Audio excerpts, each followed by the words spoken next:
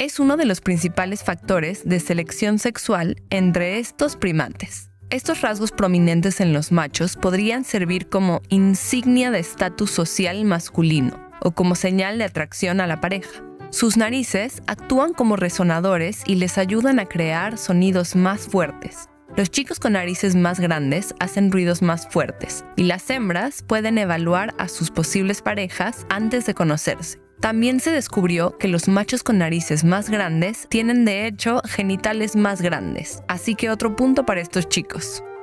Los machos con narices más grandes se ven a menudo con varias hembras, y los machos con narices y rasgos más pequeños suelen quedarse en lo que llaman grupos de solteros. Un poco triste si lo piensas. Y después de todo, el resultado final es muy anticlimático. La sesión promedio solo dura unos 25 segundos.